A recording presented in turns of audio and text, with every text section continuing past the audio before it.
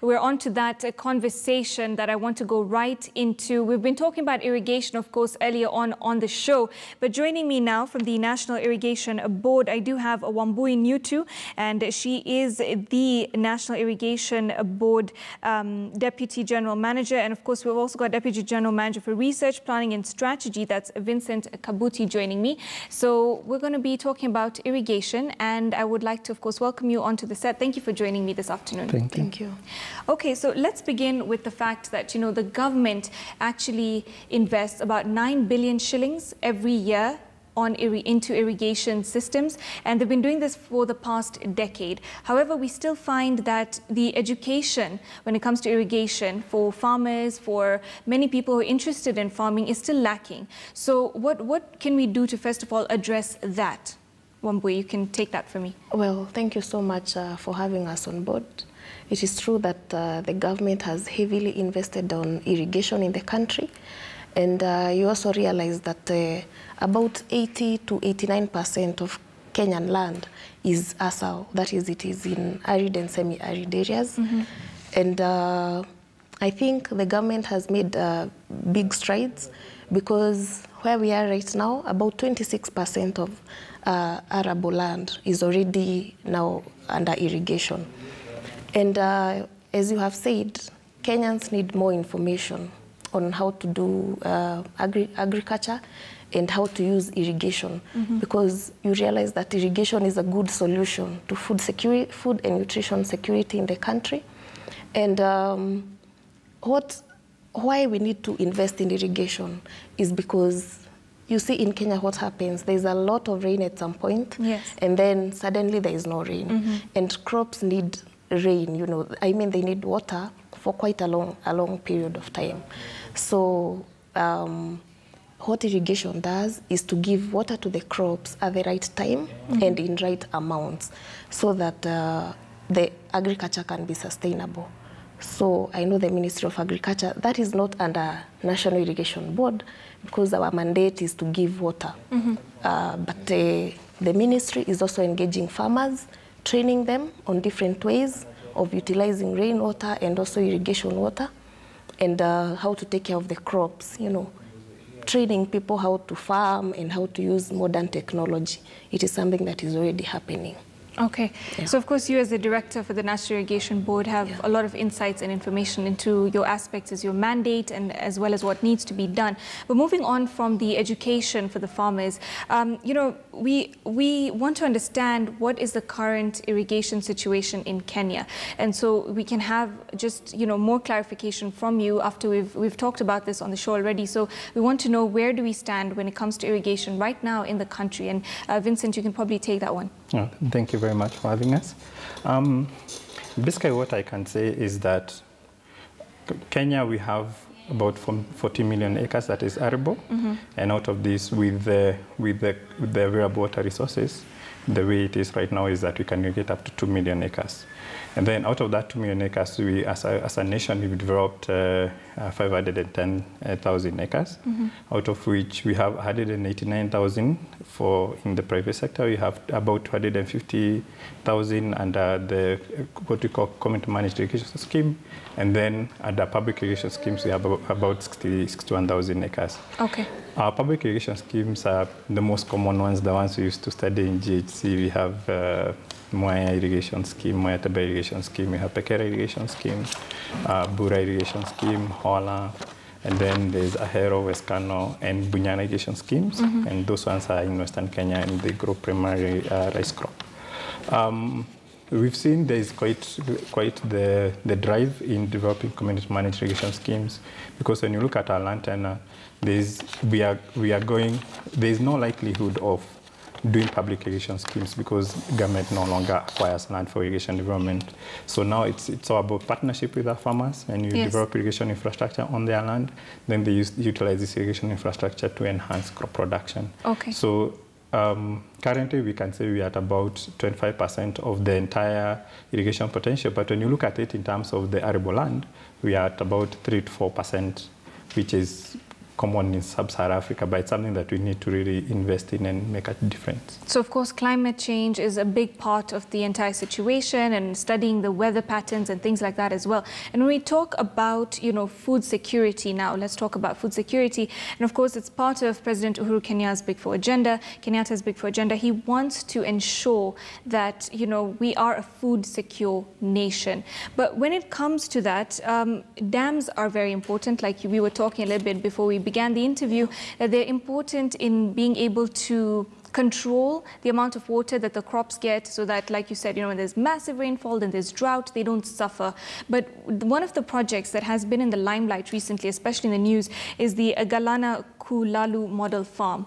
So we did see that the, you know, the project has stalled now and the company, the Israeli company, I believe, Green Arava, that um, supposedly has been paid that 5.9 billion shillings already, is not um, actively, you know, pursuing this project now. So where do we stand on that? And I would like you to tell us.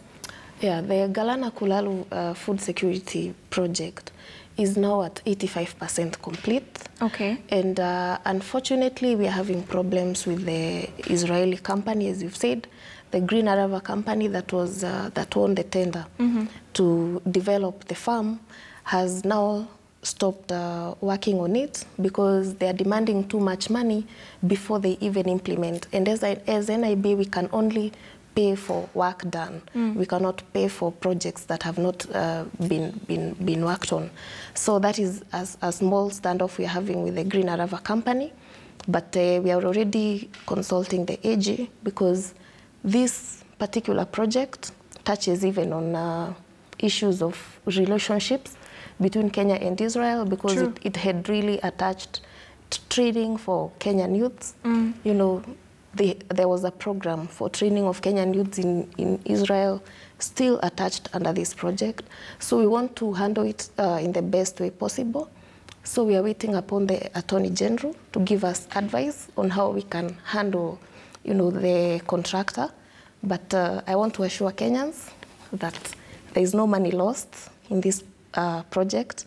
It is already 85% complete. Okay. And we only need uh, very like uh, 2 billion mm -hmm. to now complete the to complete the project, which has not been paid to so. Green Arava. So if we bring in another company to continue with the work, it will be complete and we will start enjoying the fruits. Okay, so like yes. you said, you do not give the money until, of course, the project is at completion, but you yes. did give that 5.9 billion, which was 80% of the agreed for amount. The, for the completed 85%.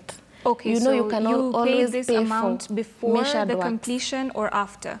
What, what happens, you can always pay certain amounts, you know, under certificates, you know, mm -hmm. measured works. Yeah. If a contractor goes a certain percentage, maybe 20%, you pay for the completed 20%. So you paid them if for the completed again, 80%? We paid for only the completed. Okay. The undone works, we have not paid any amount of money.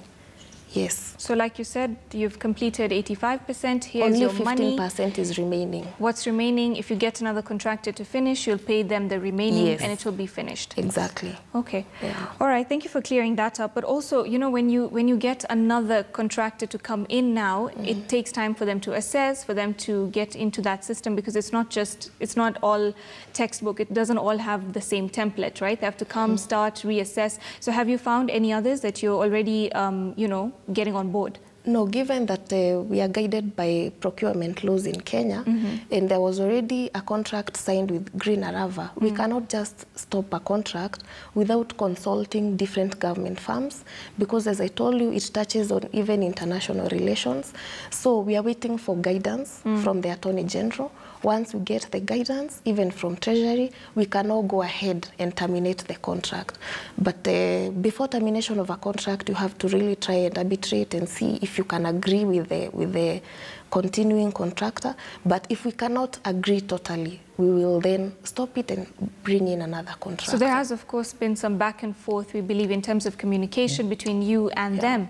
Um, are they open to conversation? Are they open to this arbitration you talk of? Well, it's provided for in the contract, so we'll, we'll, we'll, we'll exhaust all the avenues that have been provided for in the contract. And uh, then if this is not workable, then, and also depending on the advice of the National Treasury and the AG, then we'll be able to make progress. But as you mentioned about if we bring a new contractor on mm. board, then that becomes the basis of uh, of uh, the assessment or setting the criteria for getting this contractor. They have to demonstrate that indeed they have capacity mm. to implement this project within the period that we have set. So okay. they have to really demonstrate that they have the technical capacity in terms of in terms of uh, skills, in terms of manpower, and also financial capacity and equipment, so that at the end of the day, you don't you don't get to belabor so much on mm. getting the project starting again, and that is a good thing about a procurement law. You mm -hmm. ask for a contractor with certain capacity, you get contractor with that capacity. Okay. Yeah. So thank you for clarifying that where we are in this project and how we're moving forward. But away from that situation now, um, of course, I, I, want to hear more from you on the uh, initiatives that are being put in place to address irrigation water shortage. And uh, Vincent, if you can avail us with that. Um, thank you very much. Uh, we, as, as National Irrigation Board, we are carrying out several in initiatives. Mm. One of the most transformative projects is uh, what we are calling Water for Households. We are providing uh, water harvesting facilities at household level, okay. harvesting up to 1,000 to 3,000 cubic meters of water. And this increases access to water for farmers, in, especially in the dry areas. Um, then the other one is we are looking at also existing water ponds and dams spread all over the country. Mm -hmm. And these are facilities that were done by government a long time ago. This is land that is available. So you just go in, uh, rehabilitate, increase the capacity so that you increase the water storage capacity. Then you are going to organize communities around those, around those water plants so that they're able to utilize this for production. It's one of the, the most interesting ways of getting water to farmers in arid areas where you don't have, where you don't have rivers flowing.